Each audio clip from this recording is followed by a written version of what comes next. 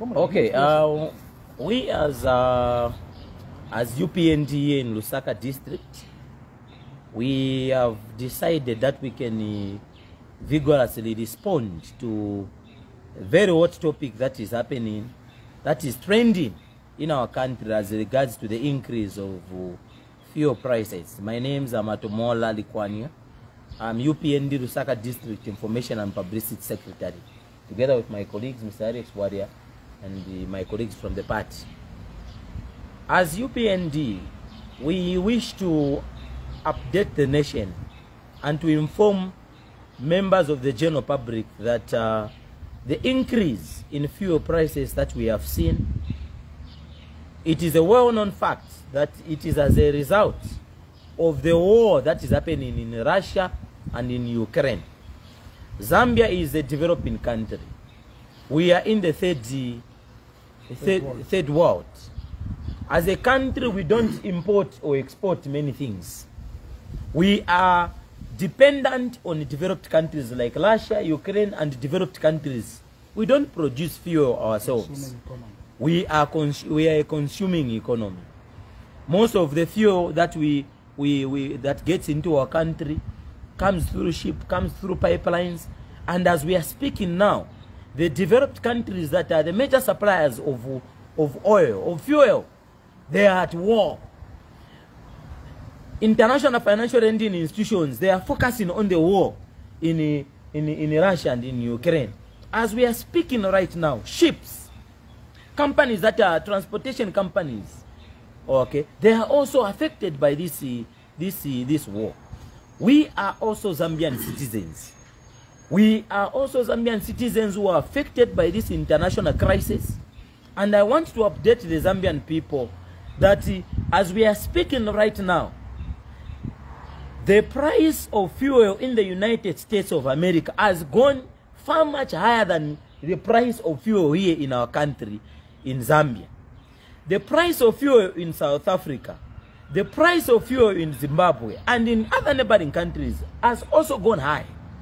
It is not because the UPND government is not taking care or trying as far as they can to reduce the price of fuel. It is because of the international crisis that we have. Therefore, we wish to appeal to our friends in the opposition that let them begin to do level-headed politics and understand the situation that we are in. This is not the first time in the history of our country that fuel is increasing. We are, we are talking about how our friends in the previous government increased fuel. I also wish to respond to assertions and the submissions by uh, our friends in the opposition that are suggesting that we bring back fuel subsidies. It is virtually impossible for us to bring back fuel subsidies because the money that was channeled and wasted to fuel subsidies is the money that is being pumped in the education sector. Today we have free education from grade 1 to grade 12 because of the money that some of the money uh, that, that came from the fuel subsidies, it is going to free education. The money that is channeled to CDF, part of that money came through through the, the, the money that was extracted from from from from from from fuel subsidies. Above all, what we are saying and appealing to the Zambian people is, let us give this government chance. We are only seven months old in government, and there are a number of turbulences that we have been we have been faced with, and these are partly caused by the international crisis, war that is happening. Lastly, as I give my friend a chance to speak, I want to say that um, Honorable uh, Harry Kalaba of the DP, uh, DP uh, uh, Democratic Party yesterday was uh, telling the nation that uh, why have we given investors five years tax holiday? That is also a subsidy. We could have subs- subsidized on fuel. The point we are saying is that we cannot suffer twice. We cannot have two things where our youths who are working in industries they lose their jobs and at the end of the day there is also high increase of fuel the reason why tax holidays are given to investors it is to boost investor confidence number two so that we can have more job creation by having many, uh, many companies coming to invest in our country as i'm speaking to you right now there's the lusaka multi-facility zone where a lot of companies have been, have been uh, created and a lot of our youths are getting employed. There are a lot of uh, manufacturing places where companies are going to, to come on board and our youths are going to be employed. So I want to summarize by saying we understand the situation that we have. We are appealing to you as the people of this country. Let us understand the vision of the president. Let us understand that this crisis that we have has not been caused by the UPND government. This crisis has been caused by the war that is happening in Ukraine. And a number of countries are affected by it. And we want to assure you, the Zambian people, that President Hakainde Hichilema and the UPND government are committed to finding a long-lasting solution to this fuel crisis.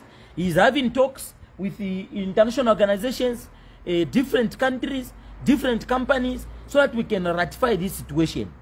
This is not the time to politic. If the war in Ukraine and in Russia is going to continue, Zambia and other developing countries are going to suffer more than they are suffering right now. It is our prayer that the crisis that is happening there should end. And that is the reason why Zambia in the United Nations uh, meetings voted against the, war in, in Russia. The same people, the opposition political party leaders, they condemned us as a country for voting against the war. They said Zambia should not have taken sides. But we are saying we are against this war because it's going to affect us economically as a country. Just to add on on what my colleague, just to add on on what my colleague has already elaborated, I think pretty much uh, everything boils down to uh, the conflict that is, that is undergoing in Ukraine and Russia. This conflict is not something that we should take lightly. This is why we've been against that conflict, because eventually, economically, we'll be affected. This is not a problem where we say our economic policies are very difficult, our economic policies are not all laid out. We have very good economic policies that have been laid out. Now, because we happen to be found in such a conflict, so let's not, cap let's not capitalize on this economic, on the, on, on the conflict and make it as though these are failed policies. We have clear economic policies that the president has laid out for this country. So let's just be patient that this whole thing is going to come to an end so that the country can move forward. It has got nothing to do with economic policies that have been laid out. The war in Ukraine will affect every nation. You can check with the IMF. The US is affected. You can check from Canada. Canadians are affected everywhere globally. Everyone has been affected by this war. It's nothing to do with the policies of His Excellency President Hakainde Hichilema. Please, let's not politicize this at all. Thank you so much. Thank you. Maybe just ask you a question before uh, we end the live video. Uh, you've spoken about this issue being uh, one that is not only affecting Zambia but a number of countries. Why then, as a party, did you dispute this when the previous government also mentioned that the prices they had were, you know, it was a global crisis? You disputed, but why do you want the Zambians to believe you now? Well, the answer is very simple. It is because statistics at that particular time were not indicating that the time that the, the Patriotic Front government were increasing the price of fuel, Eh, it was the same with other countries. At the time that the, the, the fuel price in the country had, inc had increased, Botswana were procuring cheap fuel. At the time that we were buying fuel at a very high price in our country, Zimbabwe was procuring fuel at a cheaper price. But right now, global statistics can tell you that in Zimbabwe, fuel is high. In, in, in, in Malawi, fuel is high. In US, Botswana, yes. in the US, fuel is, well. is, is high. Yes. This is a global crisis, a and global that is crisis. the reason why we are talking about the fact that all of us as, as, as Zambian people must be able to join our hands, join our hearts and hands together to see how best we can support this government, support the president. He means well. He also has a family. He also has brothers and sisters who are going to be affected by this fuel. We are human beings. We are not robots as a government. We are also affected by this, this crisis.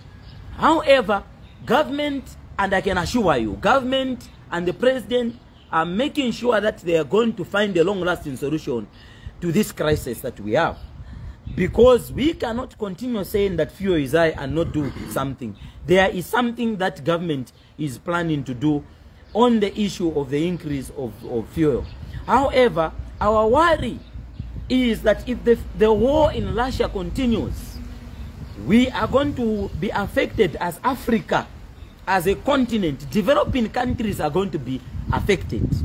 And that is the reason why we are saying we are in a crisis as a country, as a continent.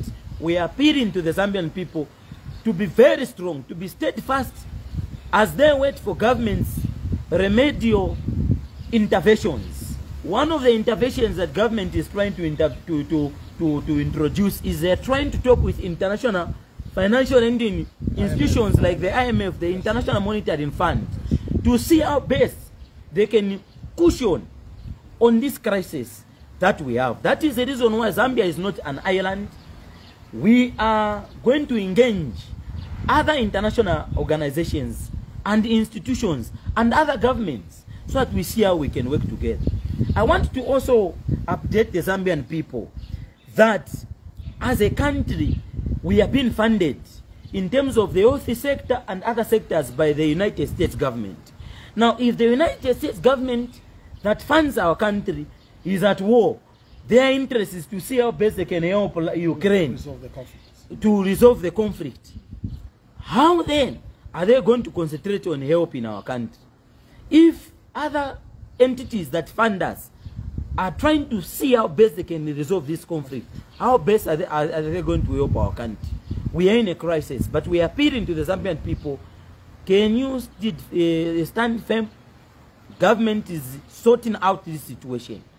Don't allow people to capitalize who failed to resolve the crisis of gassing, who failed to resolve the crisis of political violence, who failed to resolve the crisis of the COVID 19. They failed to resolve political party violence. Today, they landed us into this mess and they want to convince you that this government has failed with only seven months, seven months in power. These are the same people that landed us into this economic pitfall that we have. We must remember the day that we voted. We must remember that day when we voted against a brutal regime that was only empowering their own political party cadres. We must remember the good things that President Hakainde Hichilema has done. One of the good things that President Hakainde Hichilema has done is that the retirees, as we are speaking right now, they are going to be withdrawing advance payment for their retirement package. It simply means that you don't have to die okay for you to, to for, your, for your family to get the, the money for retirement package what this means is that while you are still energetic you can still withdraw an advance payment from your from your from your retirement package and begin to invest. Salaries have been increased for civil servants. Hospitals have been commissioned. The lusaka hospital has been commissioned. Health workers have been employed. Teachers are going to be employed. There is a clean up at the lusaka city council. There is a clean up at the um, uh, ministry of health there is going to be a clean up. There is a fight against corruption where new commissioners chairpersons have been have been have been uh, appointed. We are likely and we are going to see great things that are going to come. We are not speaking because we are praise team members of upnd but we are speaking the reality. 2.8 million Zambians that went to vote must not regret why they voted for President Hakainde Hichilema because of failed politicians. The vision of President Hakainde Hichilema and the manifesto is still intact. We are talking about a president that feels for the sufferings of the Zambian people. That's what we are saying. Okay, maybe just the last question before we go. Uh, of course, you are speaking from the party side and not that of government. Um, we are aware that, uh, I mean, you, we are talking about the fact that um, this, uh, the increase in the pump price is due to uh, the war in Russia. However, we are aware that uh, the gradual increase of the fuel pump price began even before the war in Russia. Uh, how do you respond to that? It's very simple. The answer is very simple. You saw the president mentioning that in the procurement of fuel there were middlemen and Subsidies were removed. subsidies were removed. There was also mismanagement at ERB. As we are speaking right now, I can confirm to the nation that uh, the Energy Regulation Board that was there in the PF was dissolved. We have got a new Energy Regulation Board that has been uh, that has been uh, uh, uh, ushered in. And our hope and trust is that this energy regulation board that is there is going to do the right thing because the, it's a new leadership that is going to manage the procurement of fuel and we see how we can move. One thing that we cannot learn away from is the fact that these people who were in government were criminals. These people who were in government were stealing. These people who were in government were mismanaging public funds, funds and the resources. Yes. One thing that we cannot learn away from is to mention that the former government was so much corrupt that they were not interested in service delivery. There are a lot of ghost workers that were found Yes. in different ministries. Different. There are a lot of misappropriation of funds that were recorded through the Auditor General's report and the Parliamentary Accounts Committee. You, Muvi TV, and other media houses, you covered the Parliamentary Account Committee uh, uh, meetings where money was misappropriated through the Ministry of Energy. Money was misappropriated through the procurement of fuel. Money was misappropriated. It went through certain ministers that procured assets. Some of these assets today have been forfeited to the states as proceeds of crime. Certain people are being investigated right now. That shows the depth of corruption that these people had. We are saying the new Dawn government is far much willing to deliver to the promises that they gave the Zambian people. Give us time, give us chance. The president of this country has not even finished appointing all the the the, the office bearers. Uh, you saw that a few days ago he was even changing and restructuring the anti-corruption commission. Under the president leadership, we are going to see the fight against corruption uh, being taken to another level. Prudence in management of public resources. That is the reason why we are appealing Mwebe Karachalo. Let us hold our hands. This country was left This on a country was le- left on a deathbed. These people they plundered the public resources. Now they should be the they should be the, the last people. the. They shouldn't be there. They shouldn't even speak because we are where we are in the economic pitfalls because of them. Cadres were given unaccounted money. They were flashing this money on social media without working. They gave CDF to, to, to, to musicians, PF cadres that failed to bring back this money. Higher buses were given to cadres that failed to bring back this money. As we are speaking to you right now, even if they are, they are going to talk about uh, medicine in clinics, in hospitals, that is not there. That is a propaganda.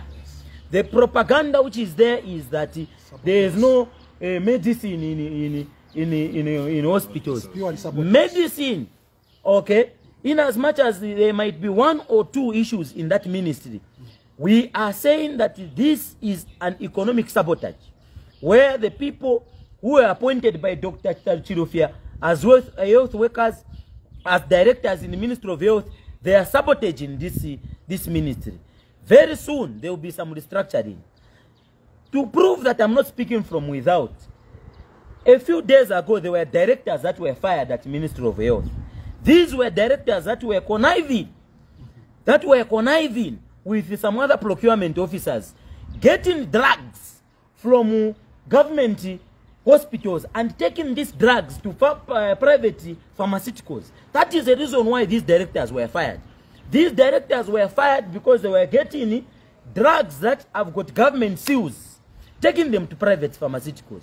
We are going to fight this corruption to the depth. A lot of people are going to be fired. That's why we are saying we need you, the Zambian people, to support us in this fight against the corruption. Support the president. The president is only seven months. Seven months. He cannot be distracted. Let us allow him to focus. To build a nation, we can't build a nation in uh, seven months. We are not like the PF that said they were going to build Zambia in, uh, in 90 days. We never promised the Zambian people that we were going to, to build Zambia in, uh, in 90 days. We never promised the Zambia. We said we were going to deliver within the five years uh, mandate. mandate. Within that five years mandate, it is not even one year. We are still building this country. Let us support this president. That is what we can say. Okay. Thank you very much. Unless there's anything else. No, I think uh, basically we just want to appeal to the citizens of the country to remain calm and give chance to the president of the country and the government so that uh, we see the good results. I think uh, let us stay calm and uh, let us wait. Yes, everything will be okay. This country was left on an economic deathbed. This country was on oxygen. And uh, these guys, they cannot be out there trying to claim that, oh, this and this. No. They left this country on an economic deathbed. They should not be out there opening up their mouths at this and this and this. They, the Zambian people, you should not even tolerate them. They are not worth listening to. Thank you very much. Okay. Thank you very much. Thank you for the interview.